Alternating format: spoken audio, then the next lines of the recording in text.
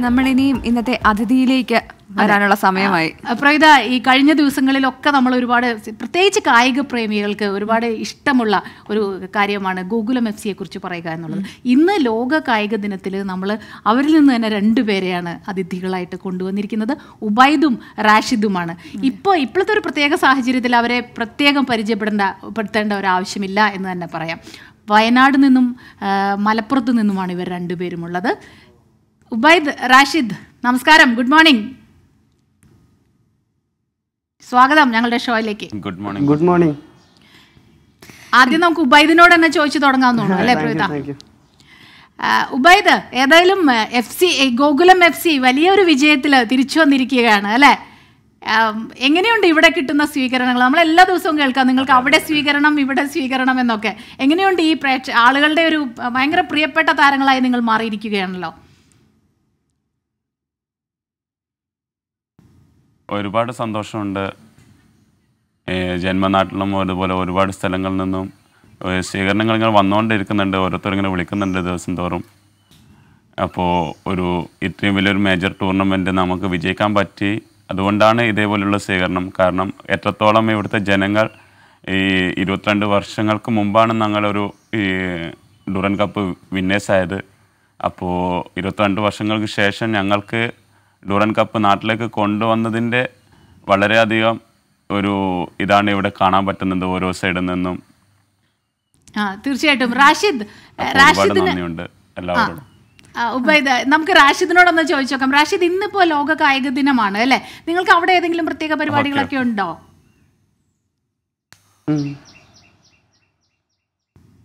ഇന്ന് ഇന്നിപ്പോ പ്രത്യേകിച്ച് പരിപാടി എന്ന് പറഞ്ഞാൽ ഇന്നലെ എനിക്കൊരു സ്വീകരണം കിട്ടിയിട്ടുണ്ടായിരുന്നു. ഇന്നിപ്പോൾ എന്റെ പെങ്ങളുടെ നിക്കാഹ് ആയതുകൊണ്ട് വലിയ പരിപാടി ഇന്നാണ് വെക്കേണ്ടിയിരുന്നവർ അപ്പൊ അവർ പറഞ്ഞു ഞാൻ പറഞ്ഞു വലിയ ഇങ്ങനെ കാര്യമാണല്ലോ അല്ലേ? വിഷയമുണ്ട്. നിക്കാഹാണെന്ന്. എന്നാ അപ്പൊ എന്നിട്ട് ഞങ്ങളുടെ കൂടെ. വന്നിരുന്നതിൽ വളരെയധികം നന്ദിയുണ്ട് കേട്ടോ. അൽ- എ- എ- നിക്കാഹല്ല പെങ്ങളുടെ നിക്കാഹാണെങ്കിലും വളരെ തിരക്കുള്ള ഒരു ദിവസമായിരിക്കില്ലേ ഇന്ന് അല്ലേ? ഏതായാലും ഞങ്ങൾ വളരെ പെട്ടെന്ന് തന്നെ ഫ്രീ ആക്കി തരാം കേട്ടോ. റാഷിദിന് എങ്ങനെയുണ്ട് ഇവിടുത്തെ ഈ ഒരു ഇപ്രാവശ്യത്തെ ഈ ഒരു വിജയം? ഡ്യൂറൻ കപ്പിലെ വിജയത്തിന് ശേഷമുള്ള ആളുകളുടെ ഒരു പ്രതികരണമൊക്കെ എങ്ങനെയുണ്ട്? അവരുടെ ഒരു സ്നേഹപ്രകടനങ്ങളും കാര്യങ്ങളും ഒക്കെ ഓ ഭയങ്കര ഭയങ്കര സന്തോഷമുണ്ട്. കാരണം ഇത്രയും വർഷങ്ങൾക്ക് ശേഷം ഒരു കപ്പ് വീണ്ടും കേരളത്തിൽ കേരളത്തിലെത്തിക്കുക അതിന്റെ ഒരു ഭാഗമാവുക എന്നൊക്കെ പറഞ്ഞാൽ ഓ വിചാരിക്കുന്നതിനേക്കാൾ അതിലേറെ സന്തോഷമുണ്ട്. പിന്നെ കളി കഴിഞ്ഞ പാടെ ഓരോരുത്തരെ കൺഗ്രാറ്റ്സും കാര്യങ്ങളും ഇഷ്ടം പോലെ വന്നിട്ട് നാട്ടുകാർ നാട്ടുകാർ ഫ്രണ്ട്സ് വീട്ടുകാർ എല്ലാവരും ഭയങ്കര സപ്പോർട്ടിങ് ആണ്. പിന്നെ ഫൈനലിന് മുന്നായിട്ട് ഞങ്ങൾക്ക് ഭയങ്കര ഒരു ഇൻസ്പിറേഷൻ എന്ന് പറഞ്ഞാൽ ഒരു ചാത്തുണ്ണി സാറിന്റെ വക ഒരു മോട്ടിവേഷൻ ക്ലാസ് ഉണ്ടായിരുന്നു. അത് ഞങ്ങൾക്ക് ഭയങ്കരമായിട്ടൊന്ന് മോട്ടിവേറ്റ് ചെയ്ത് കളിക്ക് മുമ്പേ. അപ്പം ഇത് ഇത്രയും പ്രളയത്തിന് ശേഷം നാട്ടുകാർ ഇത്രയും നമ്മുടെ കളി ഇത്രയും ബുദ്ധിമുട്ടിയിട്ടും നമ്മളെ കളി കാണുന്നുണ്ട് പറഞ്ഞതിൽ വളരെ സന്തോഷം. സപ്പോർട്ട് ചെയ്യുന്നതിനും വളരെ നന്ദി. എനിക്ക് മറ്റൊരു കാര്യം ചോദിക്കാനുള്ളത് ഇപ്പൊ പറഞ്ഞല്ലോ മോട്ടിവേഷൻ ക്ലാസ് ഉണ്ടായിരുന്നു എന്ന് ഇതുപോലെയല്ല അല്ലാതെ തന്നെ നിങ്ങൾക്ക് ടീം സ്പിരിറ്റ് വളരെയധികം കൂടുതൽ ആണെന്ന് എനിക്കറിയാം. കാരണം ടീം സ്പിരിറ്റ് ഇല്ലാണ്ട് ഒരിക്കലും ഒരു ടീമിൽ വിജയിക്കാൻ സാധിക്കില്ല. അതായത് ഒരു ടീമിന് വിജയിക്കാൻ സാധിക്കില്ല. എത്രത്തോളം ഉണ്ടായിരുന്നു നിങ്ങളുടെ ടീം സ്പിരിറ്റ് നിങ്ങൾ അങ്ങോട്ടും ഇങ്ങോട്ടുള്ള ഒരു റിലേഷൻഷിപ്പ് എങ്ങനെയാണ്? രാഷിദ് പറഞ്ഞോളൂ ആ ആ, ഇത് ഈ വിജയത്തിന്റെ മെയിൻ കാരണം തന്നെ ഇതാണ് ഞങ്ങൾ ഒത്തൊരുമ. ഇത്രയും കുറഞ്ഞ സമയം കൊണ്ട് ഇക്കൊല്ലം എല്ലാവരും കൂടുതലും പുതിയ പ്ലേയേഴ്സാണ് ഇത്രയും ഒരു മാസം കൊണ്ടാണ് ഞങ്ങൾ ഡ്യൂറന്റ് കപ്പിന് പ്രിപ്പയർ ചെയ്തത്. അത്രയും സമയം കൊണ്ട് ടീം നല്ല ഒത്തൊരുക്കത്തിലും ഞങ്ങൾ കൾ കളത്തിലായാലും കളത്തിന് പുറത്തായാലും നല്ല സൗഹൃദവും ഫോറിനേഴ്സ് ആണെങ്കിലും ഞങ്ങളായിട്ട് മിങ്കിൾ ചെയ്ത് ഭയങ്കര അടിപൊളി ഇതായിരുന്നു. ഞങ്ങളെ എൻകറേജ് ചെയ്യാൻ വേണ്ടി മാർക്കസ് ആന്ധ്ര ഹെൻറി എല്ലാവരും ബ്രൂണോ പെലിസാരി എല്ലാവരും ഞങ്ങളിൽ ബ്രൂണോ പെലിസാരിക്ക് ഭാഷ കുറച്ച് പ്രശ്നം എങ്കിലും അവൻ ഇംഗ്ലീഷ് പറഞ്ഞ് ഞങ്ങൾക്ക് നല്ലോണം എൻകറേജ് ചെയ്ത് ഞങ്ങളൊപ്പം ഉണ്ടായിരുന്നു അത് ഭയങ്കര സഹായമായി ഞങ്ങൾക്ക് കപ്പടിക്കാൻ വേണ്ടിയിട്ട്. ഓക്കെ ഇനി ഉബൈദിനോട് ഒരു ചോദ്യം. ഉബൈദ് ഇപ്പോ പറഞ്ഞ പോലെ ഡ്യൂറൻ കപ്പ് ഒരുപാട് വർഷങ്ങൾക്ക് ശേഷമാണ്. എനിക്ക് തോന്നുന്നു ആയിരത്തി തൊള്ളായിരത്തി തൊണ്ണൂറ്റി ഏഴിലാണ് വന്നത്. അല്ലെ ഇതിനു മുൻപ് എഫ് സി കൊച്ചിനാണ് അത് നേടിയത്. ഒരുപാട് വർഷങ്ങൾക്ക് ശേഷം നമ്മൾക്ക് കിട്ടുകയാണ്. അതും അവരുടെ ഹോം ഗ്രൗണ്ടിലായിരുന്നു മികച്ച പെർഫോമറുമായിരുന്നു അല്ലെ? ഗോൾ കീപ്പർ എന്നുള്ള നിലയ്ക്ക് വലിയ പെർഫോമൻസ് ആണ് കാഴ്ചവെച്ചത്. ഉബൈദിന് അന്ന് അവിടെ ഉണ്ടായ ആ ഒരു അനുഭവം പറയൂ അന്നത്തെ ദിവസം. കളിയെക്കുറിച്ച് പറയൂ. കളിയെക്കുറിച്ച് പറയുകയാണെങ്കിൽ ഒരു അത് ജീവിത ജീവിതത്തിലെ ഏറ്റവും നല്ലൊരു മുഹൂർത്തങ്ങളൊന്നായിരുന്നു അത്. കാരണം അതിൽ ഓരോ വ്യക്തിയെയും എടുത്തു പറയേണ്ടതാണ് ഓരോ പ്ലേയേഴ്സിനെയും എത്രത്തോളം ഓരോ പ്ലേയേഴ്സും ഈ ഈ ഒരു ഡൂറൻഡ് കപ്പ് ജയിക്കണം എന്നുള്ളൊരു വാശിയോടെയാണ് അന്ന് നമ്മൾ ഇറങ്ങിയത്. അപ്പോൾ അതിന്റെ ഒരു ഭാഗമായി കഴിഞ്ഞ് പറ്റിയതിൽ ഒരു വളരെയധികം സന്തോഷമുണ്ട്. ഉബൈദ് ക്യാപ്റ്റനെ കുറിച്ച് എന്താണ് പറയാനുള്ളത്? Marcus Joseph.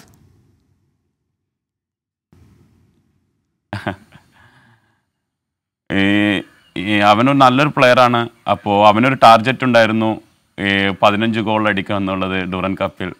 അപ്പോൾ പതിനൊന്ന് ഗോൾ അടിക്കാൻ പറ്റുള്ളൂ അവൻ പറഞ്ഞിരിക്കുന്നത് ഇപ്പം പറഞ്ഞിരിക്കുന്നത് ഐ ലീഗിൽ അതും കൂട്ടി ഞാൻ നാൽപ്പത് ഗോൾ അടിക്കുമെന്നാണ്. അപ്പം നമുക്ക് നോക്കാം ഐ ലീഗിൽ എന്തായിരിക്കുന്നു അവന്റെ എങ്ങനെ ഇരിക്കും അവന്റെ പെർഫോമൻസ് എന്ന് ഈ അവൻ എന്നൊക്കെ പറയുന്ന കേൾക്കുമ്പോൾ തന്നെ നമുക്ക് അറിയാൻ പറ്റും ആ ഒരു സൗഹൃദം നല്ല സൗഹൃദമാണോ നിങ്ങൾ ടീം മെമ്പേഴ്സ് തമ്മിൽ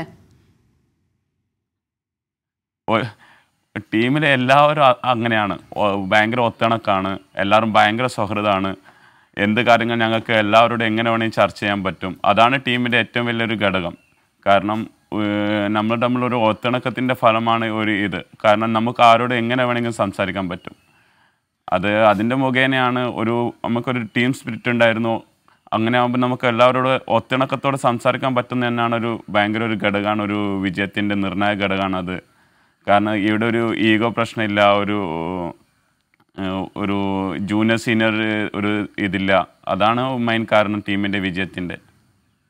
ഇതിനു മുൻപ് ഐ എം വിജയന്റെ നേതൃത്വത്തിലായിരുന്നല്ലോ ഈ കപ്പ് നേടിയത്. ഐ എം വിജയനുമായിട്ട് സംസാരിച്ചിരുന്നു? അദ്ദേഹം അതെ ഐ എം വിജയനുമായിട്ട് സംസാരിക്കാനുള്ള ഒരു അവസരം നിങ്ങൾക്ക് ലഭിച്ചിരുന്നല്ലോ. ഇല്ല ഐ എം വിജയേട്ടനായിട്ട് ഞാൻ സംസാരിച്ചില്ല.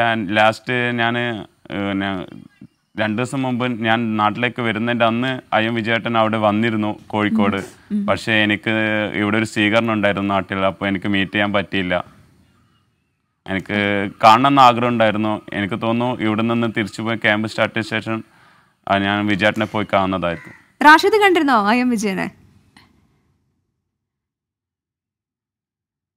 ഇല്ല ഇല്ല ഞങ്ങൾ അപ്പോഴേക്ക് നാട്ടിലെത്തിണ്ടായിരുന്നു ഇന്നലെ വിജയാട്ടനൊക്കെ അവിടെ ഗ്രൗണ്ടിൽ ഉണ്ടായിരുന്നു കോഴിക്കോട്. റാഷിദ് ഇപ്പൊ വയനാട്ടിൽ നിന്നാണല്ലോ. അപ്പം കാര്യം മലപ്പുറത്താണെങ്കിൽ ഫുട്ബോൾ കളിയുടെ കോഴിക്കോടും മലപ്പുറം എന്ന് പറഞ്ഞാൽ എപ്പോഴും ഫുട്ബോൾ പ്രേമികളും സ്ഥിരം കളികളും ഒക്കെ ഉണ്ടായിട്ടുണ്ട്. ഈ വയനാട്ടിലെ ഒരു അവസ്ഥ എന്താണ്? കളിയിലേക്ക് വരാൻ ഇതിലേക്ക് വരാനുള്ള ഒരു താല്പര്യം എന്തായിരുന്നു? എപ്പോൾ തുടങ്ങി ഈ കളിയൊക്കെ?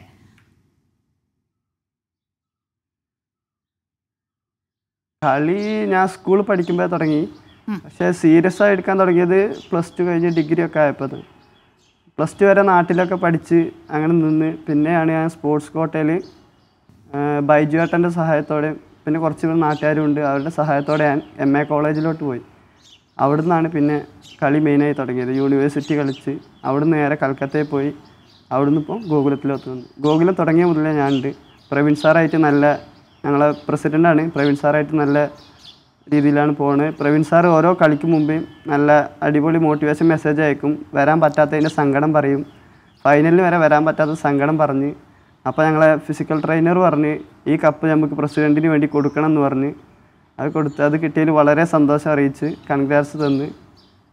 നേരിട്ട് കാണാമെന്നൊക്കെ പറഞ്ഞിട്ടുണ്ടായിരുന്നു പ്രവീൺ സാർ അതെ മറ്റു രാജ്യങ്ങളിൽ നിന്നുള്ള കളിക്കാരുടെ കൂടി ഇടപഴകിയ ഒരു അനുഭവം എന്തായിരുന്നു?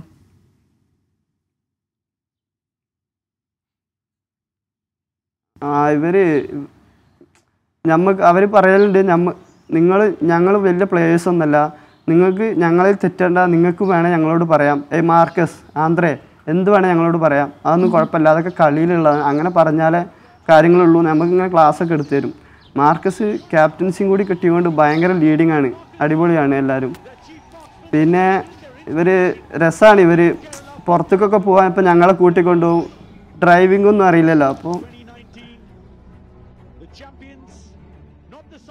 അതെ തുടർന്നോളൂ തുടർന്നോളൂ. ആ പറഞ്ഞോളൂ കേൾക്കുന്നുണ്ട് റാഷിദ്. ആ അപ്പം ആ പുറത്തേക്ക് ഫുഡൊക്കെ കഴിക്കാൻ പോകുന്നുണ്ടെങ്കിൽ അപ്പോൾ ഞങ്ങളെ വണ്ടിയൊക്കെ ഉണ്ടാവും പുറത്ത്. എടുത്ത് പോയി നല്ല രസമായിട്ട് അടിപൊളിയായിട്ട് ഫുഡൊക്കെ കഴിച്ച് വരും. നല്ല അടിപൊളിയായിട്ടാണ് എല്ലാവരും കഴിയുന്നത്. ഉബൈദ് അവിടെ ഇങ്ങനെ ആകാംക്ഷയോടുകൂടി നോക്കിയിരിക്കുന്നുണ്ട്. ഉബൈദ് ഇപ്പൊ മലപ്പുറത്ത് ശരിക്കും പറഞ്ഞാൽ നമ്മളിപ്പോൾ ആ ഒരു സിനിമ കൂടി ഇറങ്ങിയ സ്ഥിതിക്ക് മലപ്പുറത്ത് എത്രത്തോളം പ്രിയപ്പെട്ടതാണ് ഈ ഫുട്ബോൾ കളി എന്ന് നമ്മൾ കാണുന്നത്? മുട്ടിന് മുട്ടിന് ക്ലബുകളുണ്ട് ക്ലബ്ബുകളുണ്ട് ഹലോ? ആ പറഞ്ഞോളൂ. അല്ല ഞാൻ മലപ്പുറം അല്ല കാരണം ഞാൻ കണ്ണൂരാണ്. കണ്ണൂരാണ്. ഓക്കെ ക്ഷമിക്കണം. ഞാൻ മലപ്പുറത്തുകാരനാണ് കണ്ണൂരാണ്. ഉബൈദ് എന്നാണ് ഏ, ചില ഇതിലൊക്കെ നോക്കുമ്പോ കണ്ടത് മലപ്പുറത്തുകാരനാണെന്നാണ്. ഏ, കണ്ണൂർ അപ്പൊ എങ്ങനെയാണ് ഫുട്ബോൾ കളി കൂടുതൽ ഇതുണ്ടോ ഒരു ഓളമൊക്കെ ഉണ്ടോ അവിടെ? ഉണ്ടല്ലോ അല്ലെ? മലബാറുകാർക്ക് പ്രിയപ്പെട്ടത് തന്നെയല്ലേ ഫുട്ബോൾ ആ ഓളമൊക്കെ ഉണ്ട് ഉണ്ട് ഉണ്ട്. അതെ അതെ അതെ അതെ. എങ്ങനെയുണ്ട്? ഈ ഒരു കാര്യങ്ങളൊക്കെ നടന്നുകൊണ്ടിരിക്കുന്നുണ്ട്. ഗോൾ കീപ്പർ എന്നുള്ള നിലയ്ക്ക് ഇപ്പോൾ നമ്മളിവിടെ വന്നു. പലപ്പോഴും പറയാറുള്ള ഒരു കാര്യം സ്പോർട്സിന്റെ കാര്യത്തിൽ കൃത്യമായിട്ടുള്ള ഒരു പരിശീലനം ലഭിക്കാൻ ഒരു അവസരം കിട്ടാറില്ല. അല്ലെങ്കിൽ ഫണ്ട് ഉണ്ടാവാറില്ല. പലപ്പോഴും സ്പോർട്സിലുള്ളവർ ഒരുപാട് കഷ്ടപ്പെടുന്നതായിട്ട് നമ്മൾ കാണാറുണ്ട്. സ്ഥിതിഗതികൾ മാറിയിട്ടുണ്ടോ? ഇപ്പോൾ ഈ ഐ എസ് എൽ ഒക്കെ വന്നതോടുകൂടി കാര്യങ്ങൾ മാറിയിട്ടുണ്ടോ?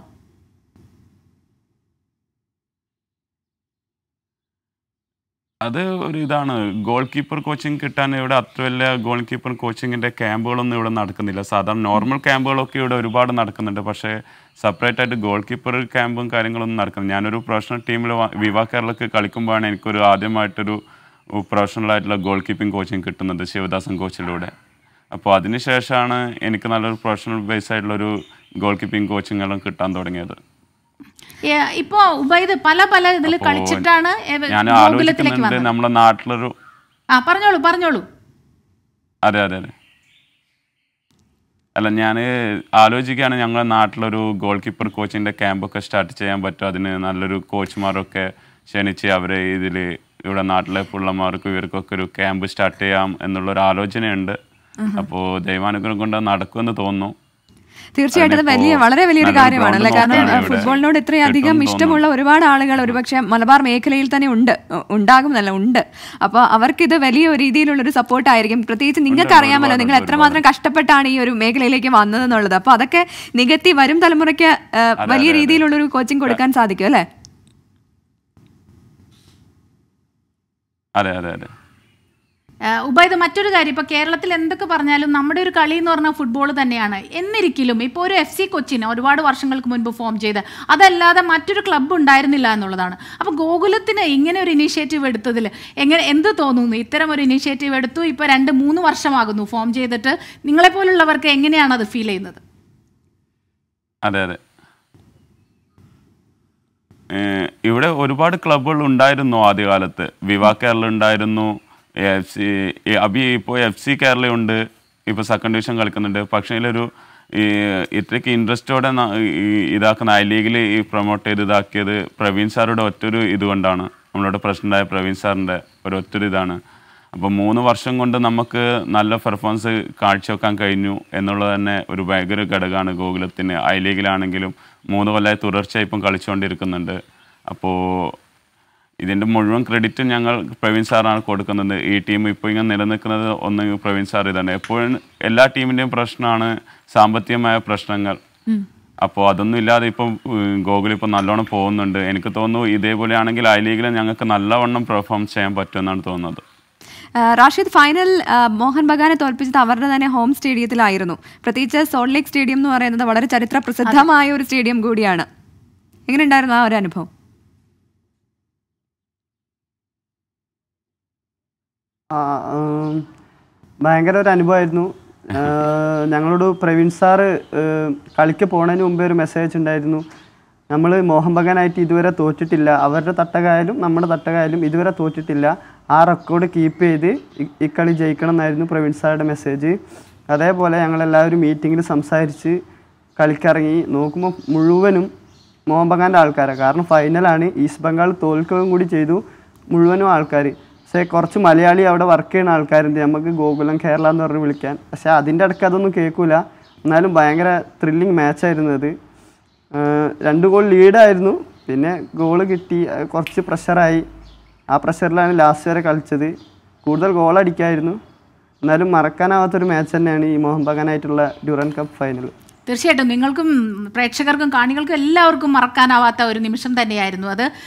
ഉബൈദ് ഇനിയുള്ള ഒരു പ്ലാൻസ് ഒക്കെ എന്താണ്? ഏതെല്ലാം കളികളാണ് പ്ലാൻ ചെയ്യുന്നത്? എന്താണ് ഡ്രീം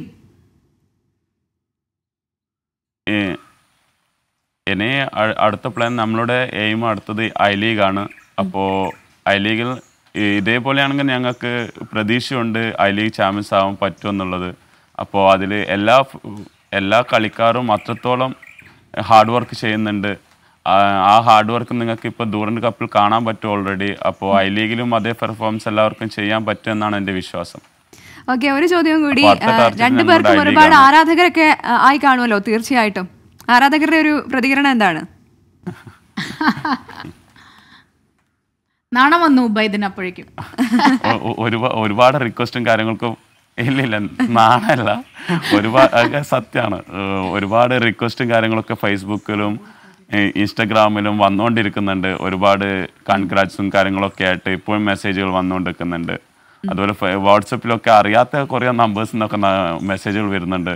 പറ്റാവുന്നിടത്തോളം റിപ്ലൈയും കൊടുക്കുന്നുണ്ട് എല്ലാവർക്കും. കാരണം ഏഹ്, ഞങ്ങളോട് ഒരു മെസ്സേജിന് വേണ്ടി കാത്തിരിക്കുന്നു. അതുകൊണ്ടാണ് അവർ മെസ്സേജുകളും കാര്യങ്ങളും അയക്കുന്നത് കൺഗ്രാസും കാര്യങ്ങളൊക്കെ. അപ്പോൾ എത്രത്തോളം നമുക്ക് കഴിയും അത്രത്തോളം നമ്മൾ റിപ്ലൈ ചെയ്യുന്നതായിരിക്കും. റാഷിദിനും സമാന രീതിയിലുള്ള അനുഭവമായിരിക്കുമല്ലോ അല്ലേ? ഉബൈദിന്റെ അത്രക്കില്ലെങ്കിലും കുറച്ചൊക്കെ ഉണ്ട്. പക്ഷെ സാധാ മെസ്സേജ് റിപ്ലൈ കൊടുക്കാറുണ്ട്. ഉബൈദിന്